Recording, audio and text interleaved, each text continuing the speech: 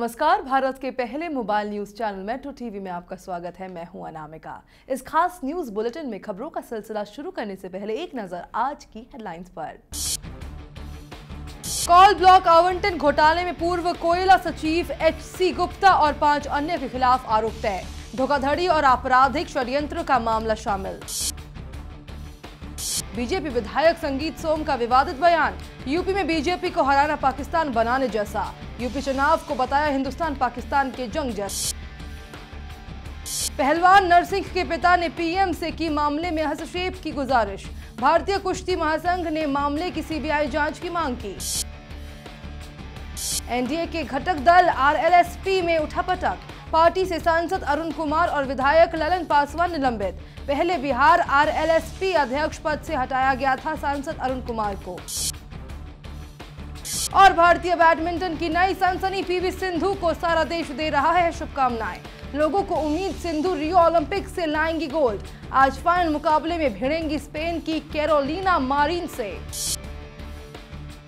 रियो Olympic में PV Sindhu ने भारत के लिए गोल्ड की आस जगा दी है। आज हर भारतीय की यही तमन्ना और चाहत है कि सिंधु जीते और भारत की झोली में सोना आए। मुकाबला फाइनल का है। ऐसे में टक्कर रोमांचक होने से कोई इनकार नहीं कर सकता। क्योंकि भारत की शेरनी सिंधु का मुकाबला दुनिया की नंबर वन खिलाड़ी से है। इसलिए ये कांटे का मुकाबला है। इस वक्त सिंधु का जो फॉर्म और जज्बा है वो बता रहा है कि जीत उनके बाएँ हाथ का खेल है। आपको बता दें कि सिंधु का मुकाबला दुनिया की नंबर वन खिलाड़ी कैरोलिना मारिन से है। सिंधु के फाइनल तक का सफ़र बहुत ही शानदार रहा है। ओलंपिक के फाइनल में पहुँचने तक वो एक भी मैच नहीं हारी है।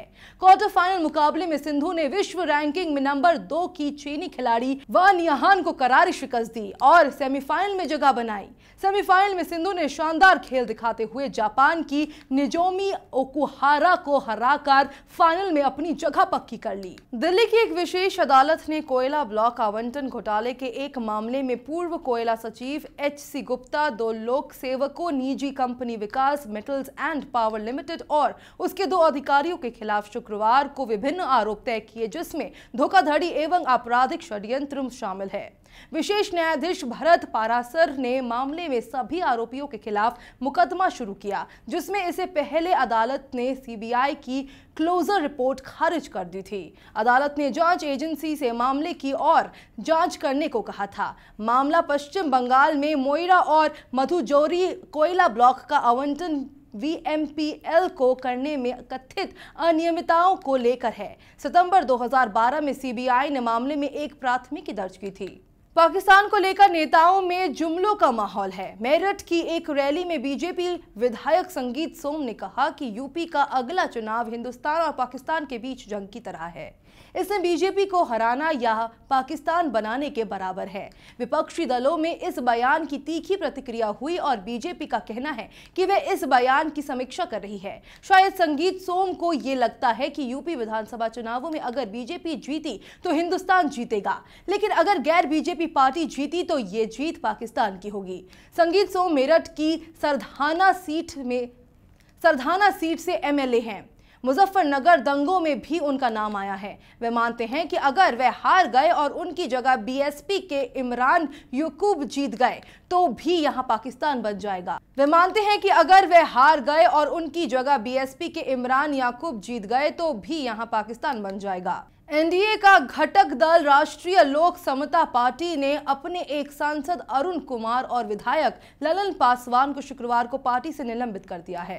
मालूम हो कि हाल ही में पार्टी के राष्ट्रीय अध्यक्ष उपेंद्र कुशवाहा ने अरुण कुमार को बिहार आरएलएसपी के अध्यक्ष पद से हटा दिया था। साथ ही पार्टी की प्रदेश कार्यकारिणी को भी भंग कर दिया था।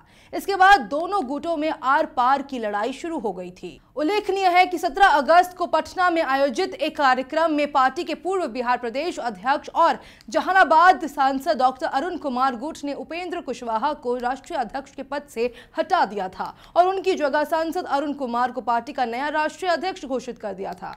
पहलवान नरसिंह यादव के माता पिता जो इस खबर से बहुत दुखी हैं कि उनके बेटे पर चार साल का बैन लगा दिया गया है और अब वह ओलंपिक का हिस्सा नहीं बन पाएगा। पिता ने कहा, हमारे बेटे पर प्रतिबंध क्यों लगाया गया? यह हमारे बेटे के खिलाफ साजिश है। इस प्रतिबंध के बाद हम सदमे में हैं। हमारी प्रधानमंत्री नरेंद्र मोदी से ये गुजारिश है कि वह हमारे बेटे के खिलाफ साजिश करने वालों से बात करे और हमारे बेटे पर से ये प्रतिबंध हटवाए ताकि उसे खेलने का मौका मिले। वही भारतीय ओलंपिक संघ ने पहलवान सिंह पर लगे चार साल के प्रतिबंध को दुर्भाग्यपूर्ण बताते हुए कहा है कि ये खिलाड़ी का व्यक्तिगत नहीं, बल्कि पूरे देश का नुकसान है। भारतीय कुश्ती महासंघ ने स्वीकार किया है कि वह खेल पंचायत को ये यकीन नहीं दिला सका कि पहलवान नरसिंह यादव साजिश का शिकार हुआ है। और यही वजह है कि फैसला उसके पक्ष में नहीं गया, जिससे रियो ओलंपिक से बाहर होने के साथ चार साल का प्रतिबंध झेलना पड़ा।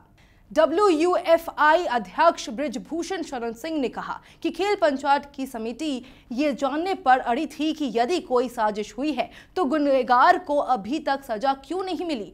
सिंह ने कहा यह नर्सिंग और देश के लिए दुर्भाग्यपूर्ण है कि ओलंपिक के लिए क्वालिफाई करने वाले पहले खिलाड़ी को एक साजिश का शिकार होने के बाद प्रतिबंध झेलना पड़ा। उन्होंने कहा, हम पूरे मामले की सीबीआई जाँच की मांग करते हैं। पूर्व क्रिकेटर और नेता नवजोत सिंह सिद्धू के सियासी डगर को लेकर अटकलों का बाज़ार गर्म है। बीजेपी से नाराज़ चल रहे सिद्धू के पंजाब चुनाव से पहले आम आदमी पार्टी में शामिल होने को लेकर लगाए जा रहे कयासों की दिल्ली के मुख्यमंत्री अरविंद केजरीवाल ने पुष्टि की है। उन्होंने ट्विटर पर लिखा है कि सिद्धू ने उनसे पिछले हफ़्ते मुलाकात की थी, लेकिन पार्टी ज्वाइन करने को लेकर कोई शर्त नहीं रखी। केजरीवाल ने शुक्रवार सुबह सुबह एक के बाद एक तीन ट्वीट में आपके राष्ट्रीय संयोजक केजरीवाल ने लिखा, वह एक अच्छे इंसान हैं और एक महान क्रिकेटर वे पार्टी में शामिल हो या ना हो, उनके लिए मेरा सम्मान हमेशा बना रहेगा। राजस्थान ने पाकिस्तान के जासूसी और आतंकी नेटवर्क का बड़ा खुलासा हुआ है। जैसलमेर में पाकिस्तानी पासपोर्ट पर भारत आए एजेंट नंदलाल महाराज को गिरफ़्तार किया गया है। खुफिया सूत्रों के मुताबिक राजस्थान में लगती पाकिस्तान सीम, राजस्थान से लगती पाकिस्तान सीमा से अलग अलग जगहों से अब तक 35 किलो आरडीएक्स भारत में बम ब्लास्ट के लिए पहुँचा चुका है। आईबी, रॉ और राजस्थान की इंटेलिजेंस एजेंसी ने इस नेटवर्क का भांडा फोड़ किया है। गिरफ़्तार पाकिस्तानी एजेंट के पास से एक डायरी भी बरामद हुई है, जिसमें सारे डिटेल लिखे हैं। इसमें लिखा हुआ है कि कब कब पाकिस्तानी खुफिया एजेंसी इसके खाते में पैसे डालती थी। इसके काम के बदले आईएसआई 10 से लेकर 60 से सत्तर हज़ार तक देती थी। नंदलाल का पूरा परिवार पाकिस्तान में है, लेकिन पैसों के लालच में ये पाकिस्तान के लिए जासूसी करने के लिए तैयार हो गया। बिहार के गोपालगंज में शराब पीने के बाद तीन और लोगों की मौत हो गई। इस तरह मरने वालों की कुल संख्या सत्रह हो गई है। इनमें पीएमसीएच में इलाज के लिए पहुँचे दो लोग शामिल हैं। इधर इस मामले में जिला प्रशासन ने मान लिया है कि सत्रह लोगों की मौत शराब या शराब जैसे जहरीले पेय पीने से हुई है। साथ ही नगर थाने में इंस्पेक्टर डीपी आलोक समेत 25 पुलिसकर्मियों को गुरुवार को सस्पेंड कर दिया गया है। पुलिस की छापेमारी के बाद गिरफ़्तार छह लोगों सहित कुल चौदह लोगों पर अवैध ढंग से शराब बनाने, बेचने के आरोप में नगर थाने में प्राथमिकी दर्ज की गई है। इसमें इन लोगों को सत्रह लोगों की मौत का जिम्मेवार बताया गया है। प्रशासन इस टोले पर सामूहिक जुर्माना या उससे भी बड़ी सजा पर विचार कर रहा है। अमेरिका के बहत्तर सांसदों के एक समूह ने अमेरिका के राष्ट्रपति बराक ओबामा से दलाई लामा के तिब्बत लौटने के अधिकार का सार्वजनिक रूप से समर्थन करने और चीन के जेल में सड़ रहे सभी राजनीतिक कैदियों की तत्काल और बिना शर्त रिहाई के लिए आह्वान करने का अनुरोध किया है। सांसदों ने ओबामा को एक पत्र में लिखा है। हम ये कहने के लिए पत्र लिख रहे हैं कि पद पर रहते हुए आप अपने शेष कार्यावधि के दौरान तिब्बत के लोगों का समर्थन करने के प्रयास तेज करें। 17 अगस्त को लिखे तीन पृष्ठों वाले पत्र में कहा गया है कि तिब्बती लोग अमेरिका को अपने दोस्त की तरह देखते हैं। ये उनकी दोस्ती को नए सार्थक संवाद को बढ़ावा देने के लिए रचनात्मक रणनीतियों और उनके अनोखे संस्कृति, धर्म और भाषाएँ पहचान को बचाए रखकर सम्मान देने का समय है। खबरों के सफ़र में फ़िलहाल इतना ही। देश और दुनिया की पल पल की खबरों के लिए जुड़े रहिए मेट्रो टीवी के साथ।